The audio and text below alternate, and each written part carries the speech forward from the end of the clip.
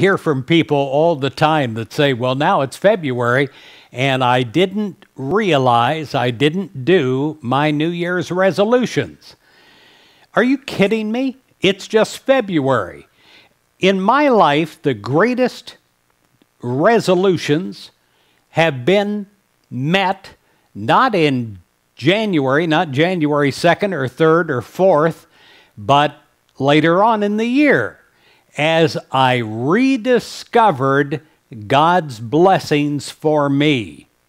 As I kept on, as I kept on walking without stopping, without giving up, but realizing that God's help is constant and it can come through me when I'm ready to receive.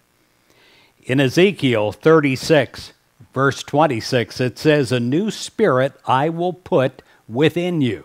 This is the whole key to have a new spirit in you to accept the goals that you want to meet, to have a new you that can have it without giving up, without letting go.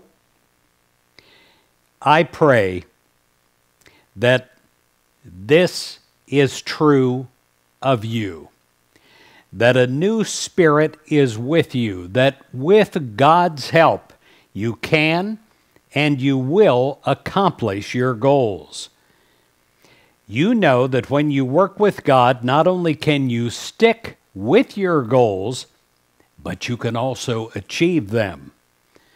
To start, let's decide right now what it is that we would like to achieve and these resolutions could be short term goals such as losing weight or redecorating the house, or long term goals such as quitting a negative habit that we've had for many, many years, or starting a new positive one.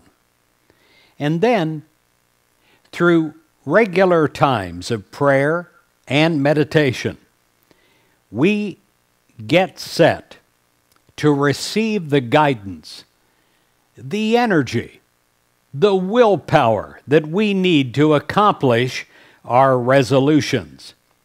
And whatever the goal or the resolution, we have faith that with God's help, we will succeed.